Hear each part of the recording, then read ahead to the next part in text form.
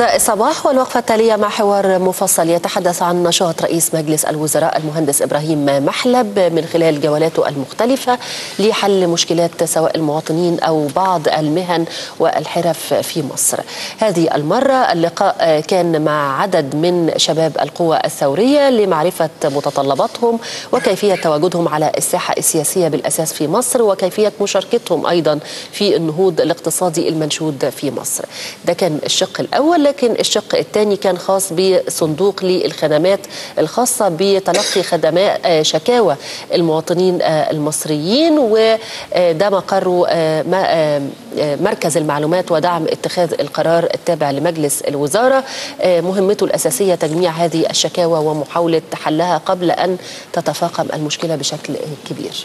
بنرحب بضيفنا في الاستوديو معنا للحديث عن هذا الموضوع الأستاذ محمد عريوة عضو تكتل القوى الثورية. أهلا وسهلا. محمد يعني خلينا في في البداية نتكلم يعني ما هو تكتل القوى الثورية وتفاصيل المقترحات التي أعرضتموها على رئيس الوزراء لكن في الأول لدينا تقرير بيلقي الضوء على هذا الموضوع. نشاهده مشاهدينا الكرام ثم نبدأ الحوار مع ضيفنا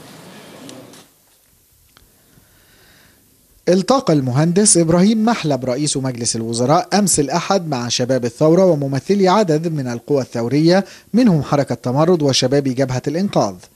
تم خلال اللقاء بحث عدد من القضايا السياسية والاقتصادية من بينها المطالبات بإلغاء أو تعديل قانون التظاهر وموقف بعض الشباب والطلاب المسجونين كما تم بحث استكمال خريطة مواجهة مشكلة البطالة. ورحب عضو المكتب السياسي لتكتل القوى الثورية بدعوة المهندس إبراهيم محلب رئيس مجلس الوزراء شباب الثورة للاجتماع والحديث حول الأوضاع الراهنة. وقال إن التكتل طرح خلال لقائه بمحلب عدة أمور هامة من بينها التحديات الراهنة والمقبلة لخارطة الطريق في ظل ما تعانيه البلاد من ضربات إرهابية. والتأكيد على ضرورة التزام مؤسسات الدولة بإقامة الانتخابات الرئاسية المقبلة في ظل شفافية ونزاهة واضحة طبقا لقواعد الديمقراطية وعدم الانحياز إلى أي مرشح رئاسي.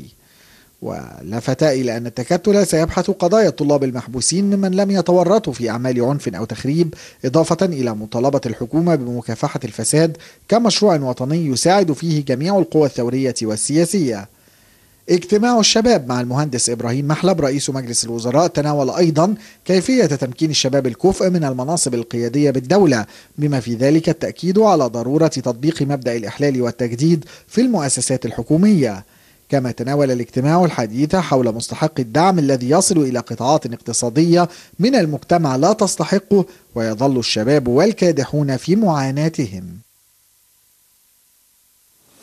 أهلا بكم من جديد مشاهدينا ونجدد التحية لضيفنا في الاستوديو الأستاذ محمد عليوه عضو تكتل القوى الثورية أستاذ محمد بداية التكتل الذي التقى برئيس الوزراء بالأمس من يضم؟ تكتل القوى الثورية كان بيضم هو أنشئ الأول في يعني في فبراير من العام الماضي فبراير 2013 في فبراير 2013 تمام. وكان قبليه في جلسات تحضيرية قبليها بأربع أشهر في نوفمبر ولكن تم تدشينه فعلا في فبراير آه عشان الإطاحة بنظام الرئيس محمد مرسي. وكان يمكن التكتل قبل حركة تمرد ون- ونتج عنها حركة تمرد وكان بيشارك في التكتل دوت في بدايته حوالي 14 حزب. كان منها حزب العدل كان منها حزب المصري الديمقراطي كان منها حركة 6 إبريل جبهة طارق الخولي كان منها حزب المساواة والتنمية آه، كان منها حزب الجيل آه، أحزاب كتيرة قوي كانت آه، معارضة لنظام الرئيس محمد مرسي.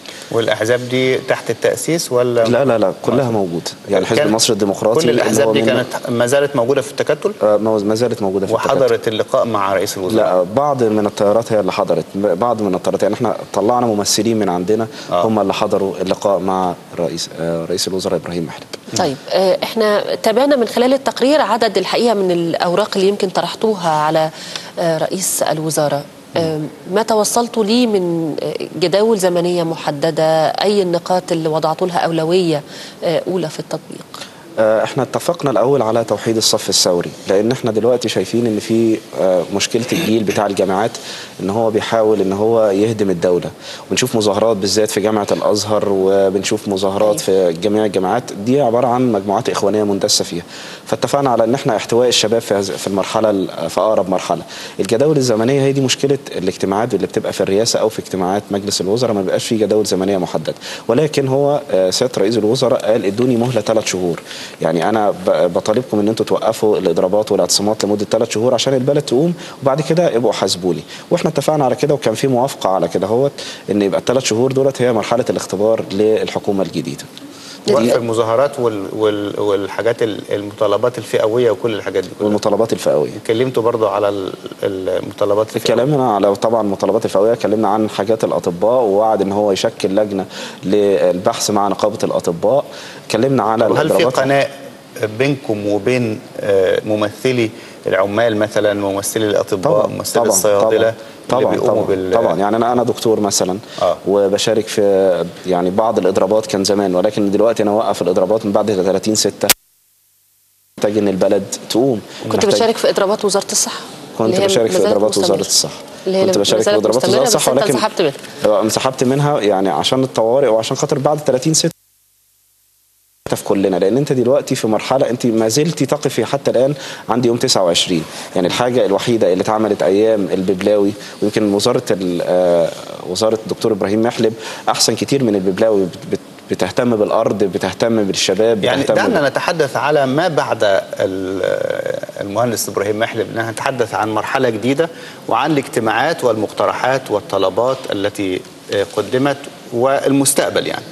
آه، بدون الحديث عن ال- ال- الم... طبعا يعني عشان الوقت يتسع لل- للحديث بشكل محدد. تمام. آه، يعني في ال- في الفترة القادمة آه، في قناة اتصال آه، طبعا. في قناة اتصال ما بين العمال. يعني إحنا عندنا قناة اتصال مع عمال غزل المحله آه. عندنا قناة اتصال مع نقابة الأطباء. عندنا قناة اتصال مع نقابة الصيادله مع نقابة المهندسين. كل ديت مو- مجموعات موجودة في التكتل وكل ديت إحنا اتكلمنا معاهم وخدنا المقترحات بتاعتهم وقدمناها لرئيس الوزراء. بنشوف إن رئيس الوزراء يا رب يحقق الكلام دوت في خلال الثلاث أشهر القادمة. إذا لم يتم تحقيق دوت فيعني برضه بن بن هنناشد الصبر شوية وكده ويا رب بس انتخابات الرئاسة تخلص وطالبنا الموضوع انتخابات البرلمانية. يسرع ال- وثلاث شهور. المفروض إن انتخابات الرئاسة تكون تكون خلصت. بالظبط كده أهوت. وطالبنا كمان بتمكين الشباب الكفء. ما طالبناش ان لأن في كتير قوي من الشباب اللي بتعتبر نفسها إنها يجب على الدولة إنها تعينها في مناصب في مساعدين وزراء و... أو إن هم يمسكوا المحليات أو كده أهوت. وفي الآخر بيصطدم بالبيروقراطية المصرية. وشفنا يمكن خالد تليمة شفنا باسل عادل اصطدموا بالوزارة جوه واصطدموا إن ما ينفعش يبقى مدير عام بقاله 30 سنة أو كده أهوت ومستني إن هو يبقى مساعد وزير أو كده ويجي شاب جه عشان هو في التحرير ووصل إيه لده. الحل؟ إيه الحل؟ الحل إن حضرتك إحنا اقترحنا دوت مع الدكتور مصطفى حجازي وكان برضو مع الأستاذ أحمد المسلماني إن يتم في آلية معينة لتعيين الشباب إن يتم اختيار آه، عمل امتحانات معينة ويتم في آه، إعدادهم في خلال ستة أشهر في مركز أعداد القادة وكل واحد في مجاله وبعديها يبدأ ما يبقاش مساعد يعني ياخد هو لا. ال- المنصب نفسه لا ولا يتحمل لا ولا. ياخد لا لا ما ياخدش المنصب يعني ما ينفعش إن أنا إن الدولة بتاعتي إن يبقى منصب مثلا عنده حاجة حاجة و30 سنة ويبقى وزير وزير. حاجة و30 سنة. نعم. ليه؟ ما ينفعش يبقى يجي وزير لأن ما عندوش الخبرة الكافية. هنكون صريح مع حضرتك يعني نظام مبارك دمر الكوادر. عندك واحد زي الدكتور الجنزوري كان من أحسن الناس اللي كانت موجودة. ولكن نظام مبارك دمر الكوادر. ما فيش عند حضرتك أي كوادر. ولا في الحزب الوطني ولا في الإخوان ولا الشباب اللي موجودة. ما فيش إلا التكنوقراط. والتكنوقراط أغلبيتهم هاجروا بره وبعض منهم موجود في الوزارات وأغلبيتهم في بعثات. وبعدين عنده مرتب وبعدين يروح الشركة الخاصة عشان مرتبه أعلى هناك وكدهوت فأنت طبعا ما ينفعش إن مثلا واحد يبقى عنده حاجة و30 سنة ويمسك وزير. بأي منطق إن أنا أقول إن دوت يمسك وزير؟ وإزاي هيسيطر على الناس ديت؟ ممكن يكون في تفهم من بعض المديرين العام أو كدهوت ولكن ما عندوش الخبرة الكافية إن هو يتعامل مع المواطنين. ما عندوش الخبرة الكافية إن هو يحل المشاكل الملفات الاقتصادية. لازم تبقى حكومة تكنوقراط وده اللي طالبنا يعني بيه. نقدر نقول التكتل ضد فكرة إنه آه الشباب الثوري يدخل كمساعد أو معاون لل... للوزير ويكتسب خبرة من خلال عمله في الوزارة أنتوا ضد الفكرة دي. لا إحنا مع الفكرة ديت ولكن ما تحطوش في منصب قوي. مش عايز يعني ما ينفعش تحطه مساعد وزير. نفسها. أو حطه حطه مثلا ماسك يعني ما- جزء في المكتب الفني بتاع الوزير خليه يتدرب ابعته بعثة للماجستيرات والدكتوراه ابع- ابعتهم بره علمهم بحيث إن في خلال أربع سنين اعمل صف تاني وتالت. اعمل صف تاني وتالت. إنما مقدمة لأن في الآخر هو هيفشل. ما عندوش الآلية. هو واحد كان يعني بيناضل وبيحاول إن هو آه، ينزل التحرير ويحاول إن هو يحل مشاكل الناس.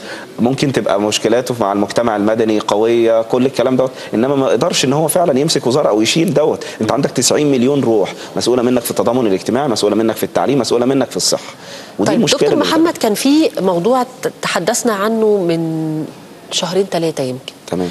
إنشاء مفوضية للشباب تمام. حضرتك سمعت ده ده وكان موجودين. مطروح على آه، رئيس الجمهورية شخصيا تمام. المستشار عدلي تمام. منصور تمام. المشروع ده لسه قائم وكينونة المفوضية دي هل اتضحت ولا لأ لأن كان في لبس كبير جدا بين عملها واختصاصاتها واختصاصات وزارة الشباب والمسألة التنسيقية آه، فيما بينهم تمام مفوضيه الشباب كانت الفكرة الأول الأول بتاعتها كانت جاية من الدكتور مصطفى حجازي وهو مشكورا بدأ الموضوع دوت وكمله بعديها الأستاذ أحمد المسلماني ال- ال- المفوضيه الشباب فعلا تم فيها آليات معينة عمل اجتماعات وفي هيكل ليها ولكن هي متوقفة على قرارات من مجلس الوزراء وعلى عشان المرحلة الانتقالية. لأن أنت ال- الم- مفوضية الشباب ليها لجنه استشارية ليها 100 واحد هيحاولوا إن هم يتم انتقائهم.